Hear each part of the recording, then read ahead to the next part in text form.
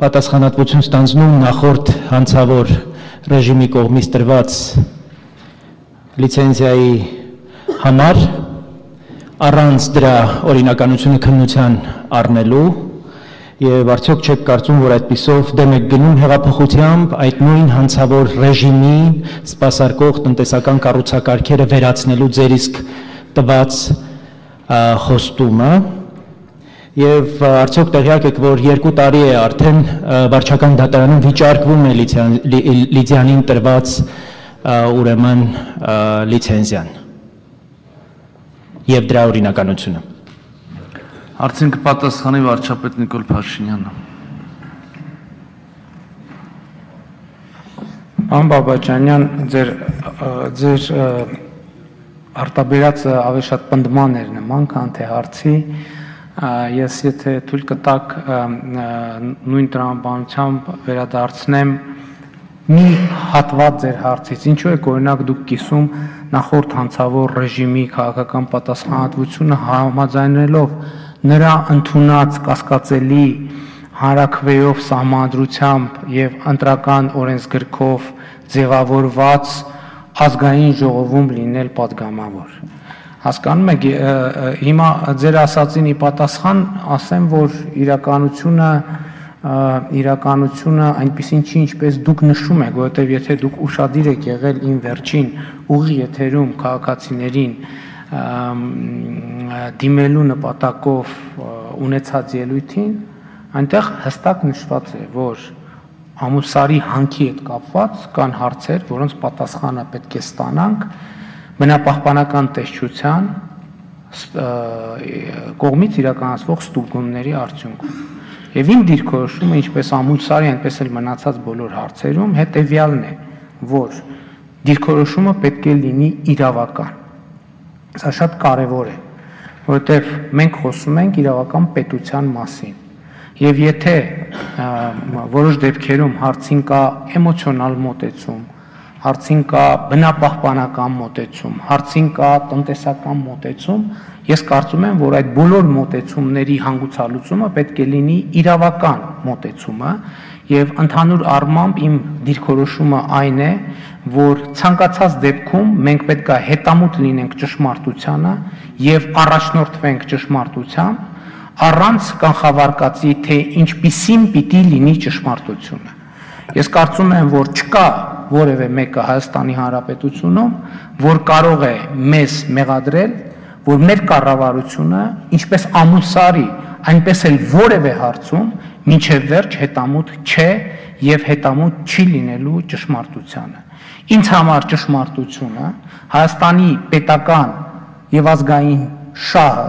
եղել է առաջնահերթություն, շարունակում է եւ շարունակելու է։ Եվ ես համարում եմ, որ Հայաստանի վարչապետի կարգավիճակից բխող միակ դիրքորոշումը, որը կարող է լինել արդարացված եւ լեգիտիմ, հենց սա է։ Եթե մենք ապորինի ձևով փակենք հանքը, վաղը ապորինի ձևով կփակենք լրատվամիջոցը, մյուս օրը ապորինի ձևով կփակենք արտադրամասը, այն մյուս եւ այդպես եւ այդպես ճաշակով, ել չեմ ասում, որ փակելուց հետո կվերցնենք մեզ։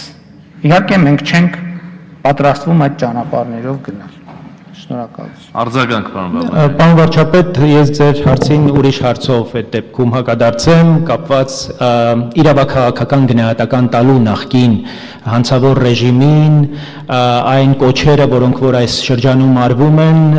պատրաստվում եք արդյոք իրավաքաղաքական գնահատական տալ այդ 20 տարիներին առնվազն եւ դրա շրջանակներում գուցե նույնիսկ դիտարկել ինչու՞ չէ նույն Լիդիանի խնդիրը, որտեղ դա անպայման կունենա հետևանք եւ դրանով կլուծվի ճշմարտության հասնելու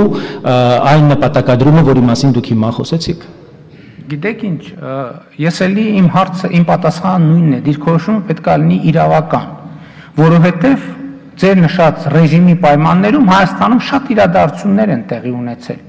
Նշանակում է ամեն ինչ, ինչ որ տեղի է ունեցել, նախկին իշխանության պայմաններում մենք պետք է այդ ամեն ինչը արմատախիլ անենք։ Ես նկատի ունեմ, ասենք օրինակ նախկին իշխանության պայմաններում ինչ իրադարձություններ կարող են տեղի ունեցած լինել։ Ասենք օրինակ բաժանվել են կենսաթոշակներ։ Հիմա մենք պետքա գնանք կենսաթոշակառուների ձեռից հավաքենք այդ թոշակները։ Կամ ընդཐུպ եղել են